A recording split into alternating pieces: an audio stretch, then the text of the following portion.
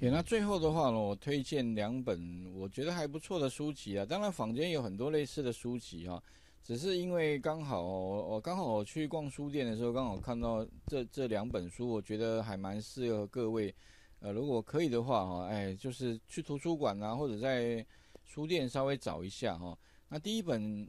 参考用书的啊，就是上这个呃推荐用书的话哈，就是其实看书名你就大概知道了啊，就是这个外行人。也能学会的这个 App 的气化法，OK。那这本书当然出出版的时间有点久远啊，不过它主要当然就是针对像 UI 跟这个 UX 的相相关的事。不过它其实没有太学术的去表达啊，这这些相关的，它是很针对它实际上的工作案例哈，诶，提出他的一些看法，OK 哈，一些心得分享了。啊，所以呢，它这个简单的内容简介啊，它其实这本书呢，就是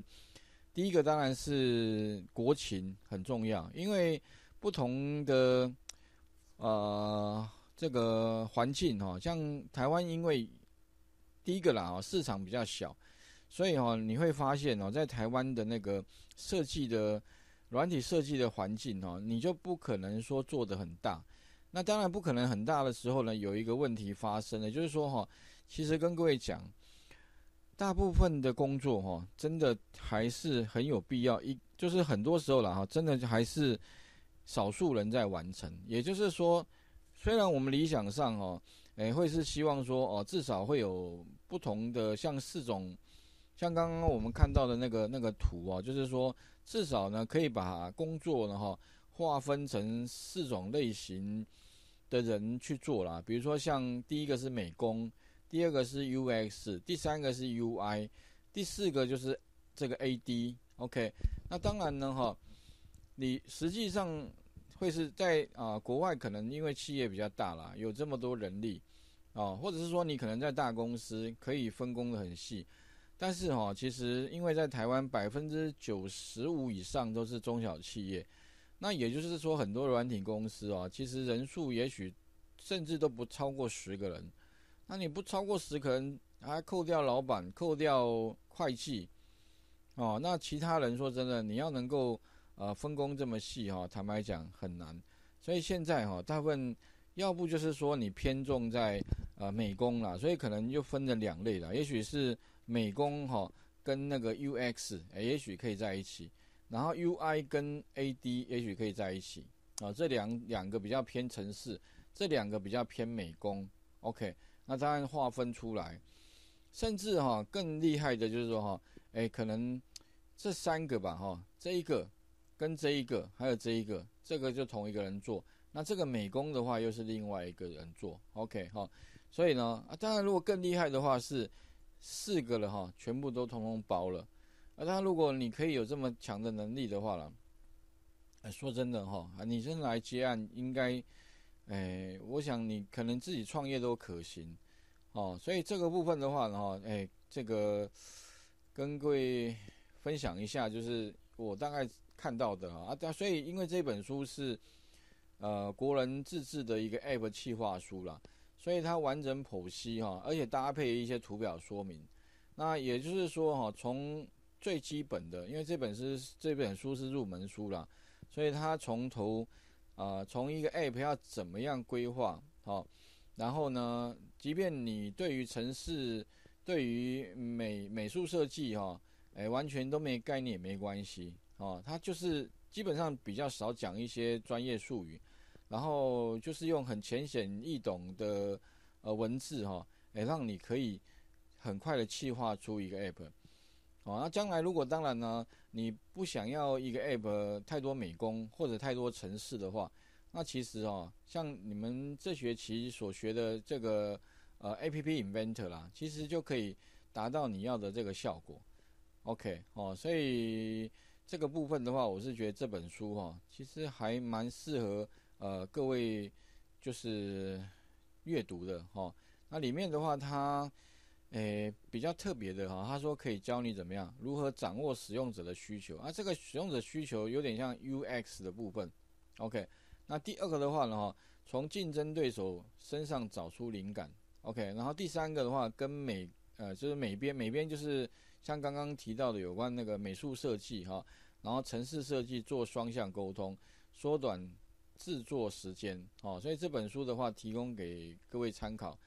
那第二本书的话，我要介绍的哈，哎，就是这个书名叫做《智慧手机 App UI 啊 UX 设计铁则》。那当然了，所谓的铁则就是你一定要遵守的一些规范。OK，所以如果你想做出呃好用的 App 哈，跟手机网站。那当然了，这边是区分两个，一个是手机 app 是一个城市，另外的话就是网页。然后网页的话，其实它不是一个城市，也就是你将来连进去的话，它自自动看起来就很像一个手机使用的一个画面。OK 哈，那这个是日本人写的一本书了哈，所以其实相对的会比较严谨。那里面的话，书上里面呢，主要呃大概有哪一些内容哈？第一个的话呢哈。那这本书的话呢，他会他就是先问你几个问题，你可能要先思考看看哦。比如说呢，为什么做出来 App 明明很好看，操作流程也很简单，但是大家为什么不喜欢？那像这类似的 App 其实还蛮多，你们在那个就是那个呃叫 A 那个 App Store 或者是在 Google 的 Play 商店上面，其实也会看到很多类似的这个 App 哦。那为什么会有这个问题哦？那再来的话呢，到底应该怎么设计哈，才能让使用者喜欢你的 app，并且持续使用？OK，那这些问题的话呢哈，当然，呃，我们都可以从一些啊比较热门的 app 哈，其实可以可以看出一些这个呃一一些方向了哈。那当然呢，如果说你要要能够成为刚刚讲的这个，这样不要发生刚刚讲的这些问题的话，那当然你可能要必须要知道几件事情，比如说制作那个 App 手机网站的必备知识，哦，当然里面的话当然会提到，比如说像刚刚有提到像这个 RWD 哦，或者是说呢 HTML 五、CSS 三跟那个 JavaScript 或者是 jQuery 等等的相关知识，当然是你必须要知道的，哦，那还有如何设计好这个。App 的手机网站可能要注意哪些的细节？这些的话呢，在书上其实都有讲到。再来的话呢，怎么样规划手机网站的一些相关流程啊？比如说第一步，你应该要，诶，先设计一个呃这个功能地图，然后再来的话，也许就是说，呃，把一些草图给画出来，然后跟使用者沟通，呃，确定你的需求。但，最重要还是要。诶，让使用者签名，然后 OK，然后确定说这个是他要的。那再来的话呢，哈，就是针对那个 iPhone 跟 Google 手机 Android 平台，哈，它有哪一些不一样？可能要比较一下，因为毕竟最好的 App 啦，可以在两个平台都能够通用是最好的。啊，那以你们现在学的这个 App Mentor 啊，它除了有那个 Android 就是 Google 手机的版本之外，哈，其实它最前诶，记得去年还是前年也。推出了 iOS，就是 iPhone 的版本，哦，所以这个应该也都没有什么问题啊。如果你将来你要试用那个就是 Apple 的手机哈，哎，那也可以哈，再把等于是你做一个版本，那两两边其实都可以把它这个就是把它这个呃发发布出去，然后两边其实都可以通用，OK 哈。那再来的话呢，就是哈，他也比较了一下这个 iPhone 跟 Enjoy 就是 Google 的平台，到底设计有哪一些重点跟差异啦？OK，那当然一样的部分呢，其实就不用讲了。最重要的是哪边不一样哦，所以你可能要特别去看查看一下。如果你想要两个版本都通吃的话，哎，那就必须要注意这一点哦。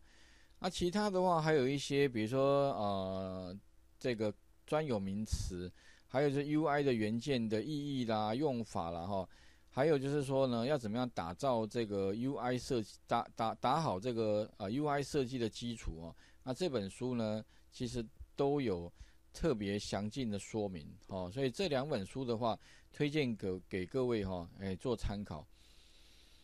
那所以总结一下哦，刚前面所讲的啦，因为刚好哦这一次其实因因为疫情的关系，本来。诶，在四月二十二号，就是上个礼拜五，我本来要到贵校去帮各位做一做这一场的这个呃经验分享，但是因为疫情的关系哦，那因为我也在台北大学有授课，然后因就是呃就是学校有一些疫情，所以变成说时间上面哈阴错阳差就没有办法过去，所以呢哈那个呃赵妹老师哈他就请我看，呃不然的话就是用那个录制影片的方式跟大家做说明。所以呢，之后的话呢，假如说大家哈对于，诶前面所讲的，比如说像那个这个跟 App 开发的，其实都可以了哈。如果各位有一些相关的问题啊，当然也可以欢迎跟把问题提出来。那将来呢，这个影片哈，我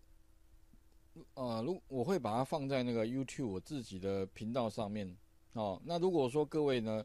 假如看了刚刚前面的相关说明，如果有问题的话，那当然也欢迎你可以在那个 YouTube 的影片下方，其实可以留言呐，或者你看完之后，诶，你有其他不一样的看法，那当然也可以在底下可以让我知道一下。哦，那当然呢，这这部分的话，主要是希望按就是把我哈，呃，在这业界的相关的看到的了哈，当然不完全。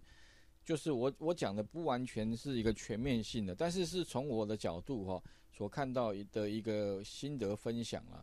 哦，所以也许呃，请各位就是说再再想想看哈，如果有什么样的不同的看法，那当然欢迎也让我知道一下，哦啊，另外的话呢哈，呃，还有一点就是上个学期哈，其实。呃，张伟老师也请我哦帮忙看一下你你们的最后就是你们上个学期的这个 app 的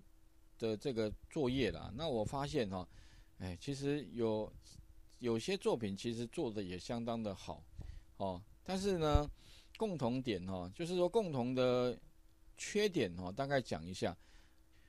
其实大部分哦，我发现呃都还是有进步空间的。不过呢，像呃上一期那个呃课程里面哈，有一个算是评价最好的，分数打最高的，那其实他们看得出来非常非常用用心啊。不过呢哈，比较可惜的地方就是说哈，像那个诶版面编排，可能像图档啦、美工哈，好像就是你们的一些。算是什么？算是比较大，应该整体性好像对于美美工的这一块、美术设计这一块，基本上好像就会是你们的致命伤诶，就是说，要不就是图的解析度不太对，要不就是那个图，诶，就是选的不好，要不就是说那个这个大小比例好像有点错乱哈。那可能这部分也许需要用到像 Photoshop 啦，不过毕竟哦，那个美工的养成，像我刚刚讲的，绝对不是短时间可以这个一触可及的哦。所以这部分的话，当然也建建议那个呃茂林老师哦，是不是说可以在加强他们的那个，就是像 Photoshop 啦或 Illustrator 这一部分哦，因为比较可惜的，因为看到几乎所有的组别哦，在图档的品质跟相关的。档案处理好像都会比较有一点点状况了，OK，哦啊，大部分其实诶看得出来，像这一组的用心程度其实是所有的组别里面已经是最好的，但是有这个就是像美工部分好像就是比较比较啊稍微差一点啊，那其他的话还有就是我看到的像是那个诶后续的延伸性啊，因为毕竟。未来哈，可能 AI 的部分呢，慢慢哈会导入啦。所以其实像刚刚提到有关 UX 哈，使用者经体验这个部分呢，其实未来如果可以再把 AI 的像机器学习啦，或者是像深度学习哦，把它结合进来的话，相信对于那个使用者的 UX 这个体验上面会更好。为什么呢？因为有的时候啊，如果你可以加入像一些机器学习或深度学习的一一些概念的话，那你会发现哦，好处就是说可以让你的这个 App 程式哦，自动可以修正一些问题，或者是说可以记录一些使用者的一些使用习惯，而不会说哈每次一进来习惯这个做完，下一次又要重新设定一遍，或者说你之前找过的东西，哦，然后你需要把它记录，但是问题是你的城市里面没有资源这个功能的话，那变成说它每次都要重来一遍，那相对于在使用经验上面一定会很差。OK，好，这个的话当然哦，举个例子，像那个以前用那个 Gami 的导航哦，Gami 导航其实蛮好用的啊，比如说开车的时候哈，如果用 Gami 导航真的蛮精确的，但是它有个缺点，就是它没有 AI。也就是你今天哈，假如导航它走错路了，那你修正了，它下一次还是继续错。也就是说你怎么样，它就会一定是因为它有点固定的模式了。但是后来哦，你会发现像 Google 地图的导航，它为什么呃大家越来越喜欢用？因为它里面有 AI。也就是说你今天比如说你导航，你习惯，假如有一高跟二高啊，你习惯走二高，那它下一次帮你找导导到二高去，哎，这蛮蛮聪明的。另外的话呢，哈，像 Google 地图里面呢，又结合一些像路况的 AI，也就是如果前面有塞车，它也会自动提示你说，哎，你是不是要换一条路走？哦，然后甚至它还结合有一些像计算时间的功能啊，等等的，哦，也就是说呢，它也会不断的在修正它地图上的一些错误啦。所以，如果你今天呢一个 App 呢，假如说呢能够做到这一点的话，哇，那相信。在 UX 使用者体验上面一定会大大的加分，哦。不过呢，哈，要能够做到这一点呢，真的也要蛮花心思的。那只是说，将来各位可以想想看哦，怎么样可以做出一个这个 App 哈，让人家用起来，第一个哇，感官就是漂亮，那你已经赢了一半了。第二个的话，用起来哎就是流畅，那你当然又赢了另外另外的百分之三十了。再来的话，怎么 run 我就觉得，哎，都不会有 bug，也不会宕机，也不会跳出一些错误讯息的话，哇，那基本上已经有九十分了。OK 哈，哎，所以哈，这些的话都是值得各位去思考了。那未来当然，我刚刚提过的，像美工啦，像 AI 啦，啊，或者是说将来哈，甚至呢，你们还可以再把你们做好的 app，如果说呢，你觉得，已经做的相当有，已经接近成熟了。那我是建议哦，你们也可以在那个就是 Google 的 Play 商店，好上面可以上架。当然你必须要注册一个开发人员的账号。我记得好像之前我付了一笔钱吧，我忘了多少钱，二十五块美金还是多少钱？然后就有一个永久性账号，你就可以把你的 App 发布出去。那另外的话呢，甚至可以开始赚一些广告金呢，因为人家 download 的话呢，其实上面也会跳广告哈。那或者是说了哈，甚至有一些慢慢，当然你可以变成你的作品。那将来如果说你想要让别人知道说你有具备这样的专业能力的话，诶，或许或多或少你可以什么慢慢有人找你接案呢？哦，那当然也也是一个方向。那除此之外啊，如果有机会的话，甚至如果你们可以组队哈去报名比赛的话，诶，其实也可以拿很多奖金，因为我之前。呃，我遇过很多学生哈，他们经常去参加比赛拿奖金。那这个奖金的话，对于他们来说比打工还优惠啊。所以其实很多人呢，就就会乐此不疲，反正就是呃专门花心思哈，哎，就是去参加比赛。哎，这个也是一个蛮好的一个方向了哈。所以今天的这个这一场算是呃心得分享了哈。大概就先到这里。那如果之后的话，诶，各位哈，还有一些相关的问题，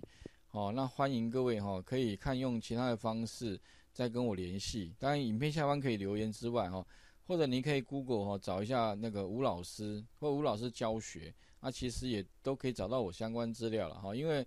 我其实教学的经验还算丰富，在网络上面的文章跟影片其实也相当的多了哈。OK，所以。哎，如果有有一些需要讨论的，当然你也可以再看用什么方式哈，哎，再跟我联系了哈。OK，那今天的